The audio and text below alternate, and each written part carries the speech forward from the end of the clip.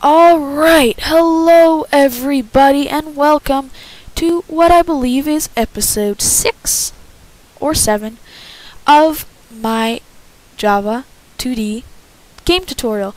In the last episode we got our tile, our world, we have it loaded, it even goes out of the screen, but don't worry about that. In this episode what we are going to do is we are going to add player movement so you will be able to move anywhere on the map, which is amazing. So, to do that, the first thing we're going to have to do is we're going to create a key manager. Now, this is going to handle all of our keys. So, let's put that in a class in a in a package called input and we will call it key manager. Key manager. There we go. So this is going to implement key listener. There we go. Add the unimplemented methods. There we go. So this is gonna um so when the key when a key is pressed, it calls this method. When a key is released, it calls this one, and this one here it does pretty much key pressed, I think. So we won't need it. We won't need it. So you can just ignore that one. These two we will need. So let's change these this arg argument 0 to e. So how are we going to do this? Um hmm. Let's create a new class. Actually, no, not a new class. In our world, we are going to create a public static int x offset which will be equal to 0. Public static int y offset, which will also equal 0. There we go. So, what is this going to be for? Well, we're going to apply this to the tile when we render it. So if we add it, it will move all the tiles over. So how we do that is we're going to do x plus world dot x offset and y plus world dot y plus world. Oh my gosh world dot y offset now in our key manager all we have to do is if e dot get key code is equal equal to key event dot w. No key event um actually what is it uh key um key hmm just a second. Right whoops how can I forget that? So it's key event dot vk and to go up, we will have to press W, so VKW. We are going, if that is true, we're going to do world dot x offset plus equals 2 for now. Actually, we have to do world dot y offset, and there we go. So now, let's do, let's copy this. And let's change them all to else if and we have to copy it four times. Else if, else if, this is just for performance, and if it is VKA, VKS, or VKD. This uses, oh, excuse me, this uses WASD. So, when we press the A key, we're going to want to move left. So we're going to do x offset minus equals 2. Um, let me think quick. This is wrong. This has to be minus 2. So then, if we are moving down, we have to do world.y offset plus equals 2. And if we're moving to the right, we have to do world.x offset plus equals 2. Now let's run that.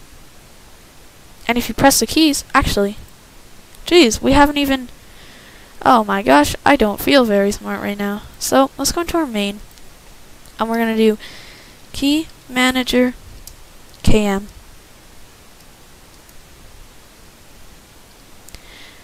and now we're going to set it equal to a new key manager.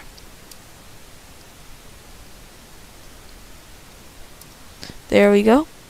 So if you I've been watching the oh if you've been watching the GUI tutorial you may know how and what we do. What we have to do is we have to register it with our JPanel. So what we're going to do is we're going to add a key listener, and this is going to be KM. So, if we did this all correct, we can launch the application, and we can move around. But we did not do it correct. So if we do frame dot add key listener, maybe that'll do it. Whoa. Would you look at that? Everything is reverse.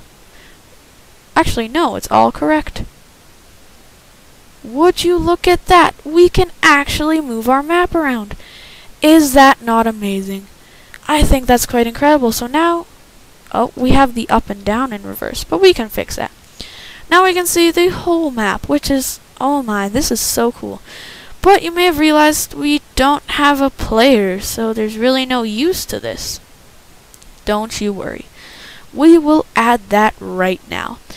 First though, we have to turn these around. So when we press S, we have to subtract.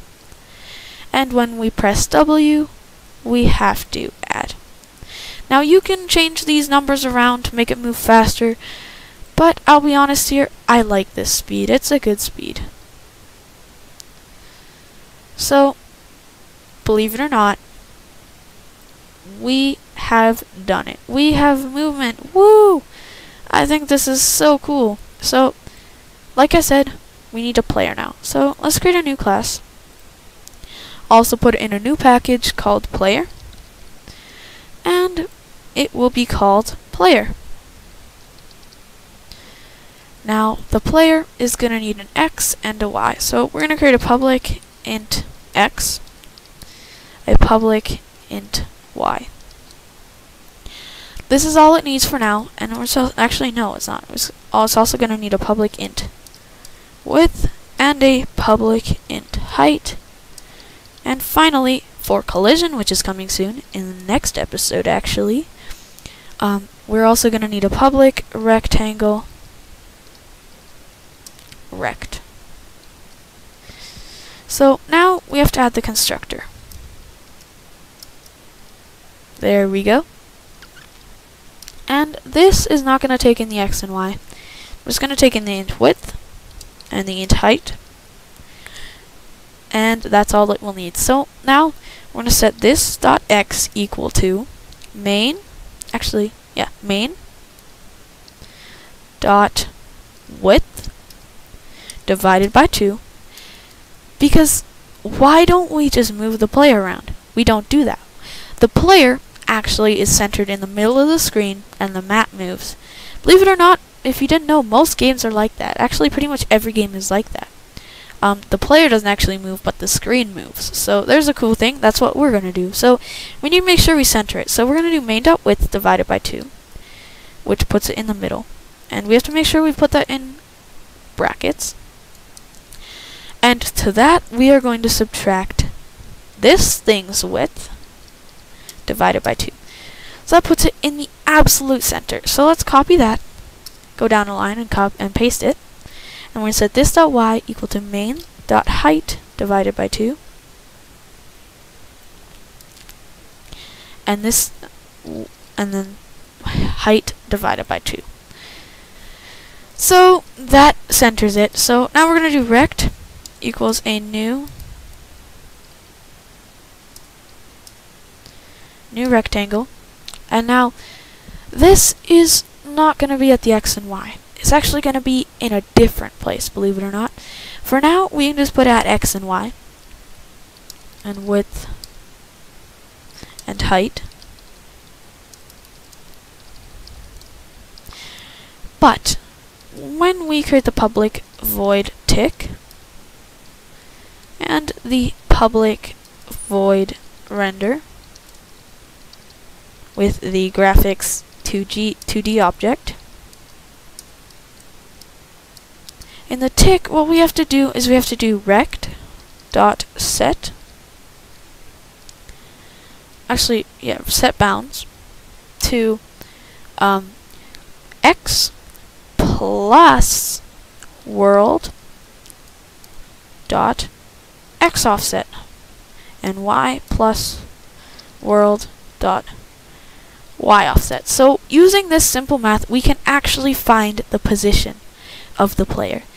Um, hopefully that's simple enough, but that is all we have to do in the tick. In the render, let's do g dot, actually g dot fill, actually g dot set color, and we're going to set it to color dot white, because right now all our player is going to be is a lonely little white blob in the middle of the screen. So we're going to do g dot render, no,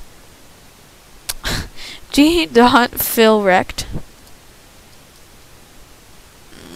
Do do do do do. I'm taking forever. X, Y, width, and height. Boom. That's already done for us. So, believe it or not, that's it for this class right now. So, let's add that to our world.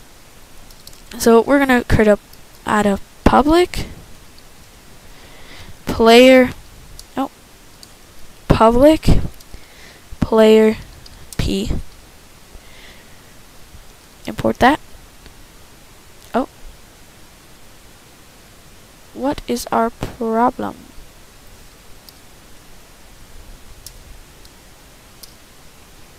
Public player P. There we go, that was weird. And this is going to be equal to P equals a new player. And the width is going to be, let's put it to 40 by 40. Okay? There we go. So now we have to make sure we tick it. We have to make sure that's over the tiles. So we're going to do p dot tick. And we have to make sure we render it over the tiles. So p dot render.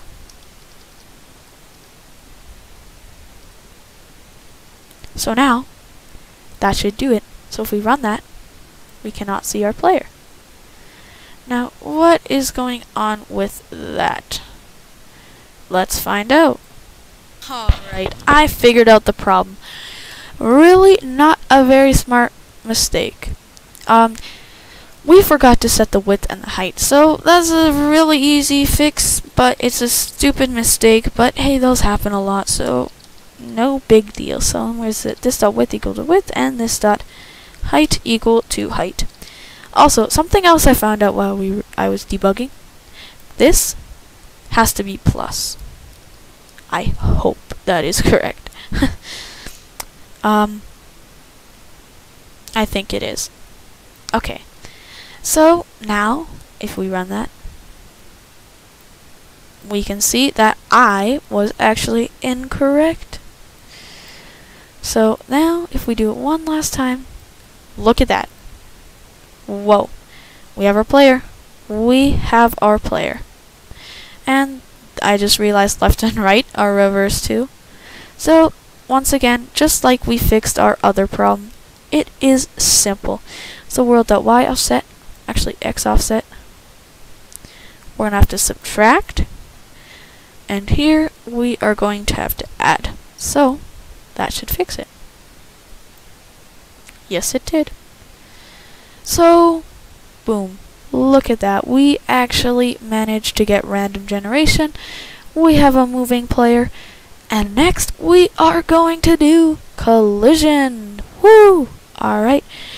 Well, that's it for this episode. Thank you for watching, and I will see everybody, hopefully, in the next episode. Goodbye.